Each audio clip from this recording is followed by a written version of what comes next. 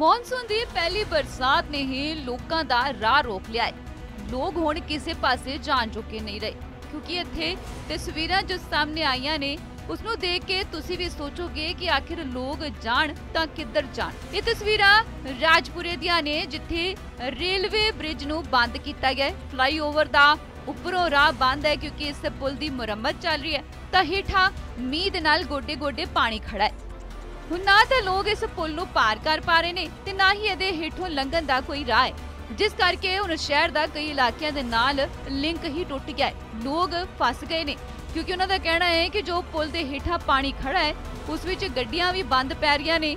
ਦੋ ਪਹੀਆ ਵਾਹਨਾਂ ਦਾ ਨਿਕਲਣਾ ਤੇ ਵੈਸੇ ਹੀ ਔਖਾ ਹੈ ਤੇ ਪੈਦਲ ਲੋਕਾਂ ਲਈ ਕੋਈ ਰਾਹ ਨਹੀਂ ਹੈ। ਜਿਸ ਕਰਕੇ ਲੋਕ ਹੁਣ ਇੱਕ ਪਾਸੇ ਹੀ ਫਸ ਕੇ ਰਹਿ ਗਏ ਨੇ। ਨਾ ਤਾਂ ਇੱਕ ਇਲਾਕੇ ਤੋਂ ਦੂਜੇ ਇਲਾਕੇ 'ਚ ਜਾਇਆ ਜਾ ਸਕਦਾ ਹੈ ਤੇ ਨਾ ਹੀ ਕੋਈ ਹੋਰ ਵਾਇਆ ਰਸਤਾ ਹੈ।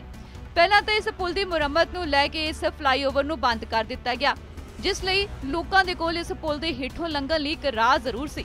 ਪਰ ਹੁਣ ਮੀਂਹ ਕਰਕੇ ਉਹ ਵੀ ਬੰਦ ਹੋ ਗਿਆ ਹੈ, ਕਿਉਂਕਿ ਇਸ ਪੁਲ ਦੇ ਹੇਠਾਂ ਗੋਡੇ-ਗੋਡੇ ਪਾਣੀ ਖੜਾ ਹੈ, ਜਿਸ ਦੇ ਵਿੱਚੋਂ ਲੰਘਣਾ ਕਾਫੀ ਔਖਾ ਹੈ।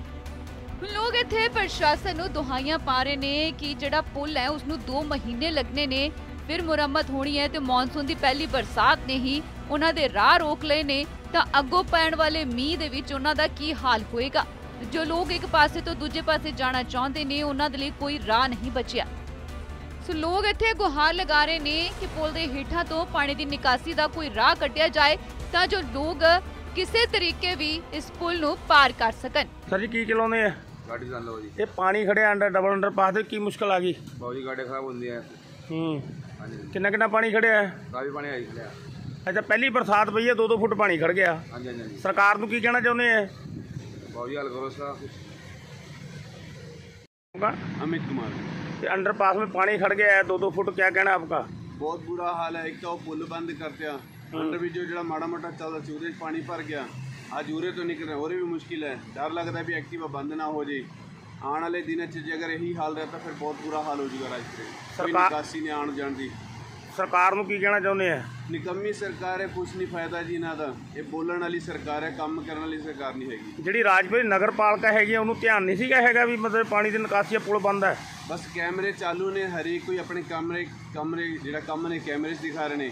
ਇਹ ਕੰਮ ਦਿਖ ਹੀ ਰਿਹਾ ਆਪਾਂ ਨੂੰ ਕੀ ਹੋ ਰਿਹਾ। ਤਾਂ ਮੇਰਾ ਹਰਵਿੰਦਰ ਕੁਮਾਰ ਨਾਂ ਜੀ। ਸਰ ਜੀ ਕਿੱਥੇ ਰਹਿੰਦੇ? ਮੈਂ ਡਾਲੀਮਾ ਵਿਹਾਰ ਰਹਿਣਾ ਹੁਣ ਕਿੱਧਰ ਜਾ ਰਹੇ? ਮੈਂ ਕਾਲਕਾ ਰੋਡ ਰਾਜਪੁਰਾ ਜਾ ਰਿਹਾ ਹੁਣ। ਸਰ ਜੀ ਅੰਡਰ ਵਿੱਚ ਪਾਣੀ ਭਰ ਗਿਆ 2-2 ਫੁੱਟ ਕੀ ਕਹਿਣਾ? ਮੇਰਾ ਕਹਿਣਾ ਹੈ ਵੀ ਸਰਕਾਰ ਨੂੰ ਵੀ ਰਿਪੇਅਰ ਕਰਨੀ ਸੀ ਪੁਲ ਦੀ ਤਾਂ ਬਰਸਾਤਾਂ ਤੋਂ ਬਾਅਦ ਕਰਦੇ ਜਾਂ ਬਰਸਾਤਾਂ ਤੋਂ ਪਹਿਲੇ ਕਰਦੇ। ਜੇ ਇਹਦਾ ਕਰਨਾ ਇਹਦਾ ਪ੍ਰਬੰਧ ਪੂਰਾ ਕਰਦੇ। ਹੁਣ ਨਾ ਕੋਈ ਜਾ ਸਕਦਾ ਨਾ ਆ ਸਕਦਾ। ਗੱਡੀਆਂ ਲੋਕਾਂ ਦੀ ਬੰਦ ਹੋ ਰਹੀ ਹੈ। ਸਰ ਜੀ ਅਜੇ ਤਾਂ ਪਹਿਲੀ ਬਰਸਾਤ ਪਈ ਹੈਗੀ ਇਹ ਤਾਂ ਪੂਰਾ ਮਹੀਨਾ ਪਿਆ। ਤਾਂ ਸਰਕਾਰ ਨੂੰ ਗੌਰ ਕਰਨ ਦੀ ਲੋੜ ਹੈ ਸਰ। ਇਹ ਨਗਰ ਪਾਲਿਕਾ ਕਿਉਂ ਅੱਖਾਂ ਬੰਦ ਕਰਕੇ ਬੈਠੀ ਹੈ? ਕੋਈ ਪਾਣੀ ਦੀ ਨਿਕਾਸੀ ਦਾ ਪ੍ਰਬੰਧ ਤਾਂ ਨਗਰ ਪਾਲਿਕਾ ਨੂੰ ਕਰਨਾ ਪੈਂਦਾ ਨਾ। ਚਲੋ ਅਸੀਂ ਤਾਂ ਸਰਕਾਰ ਨੂੰ ਹੀ ਕਹਿ ਸਕਦੇ ਆ ਨਗਰ ਪਾਲਿਕਾ ਵੀ ਉਹਨਾਂ ਦੇ ਅਧੀਨ ਹੈ ਉਹਨਾਂ ਨੇ ਕਰਾਉਣਾ ਕੰਮ।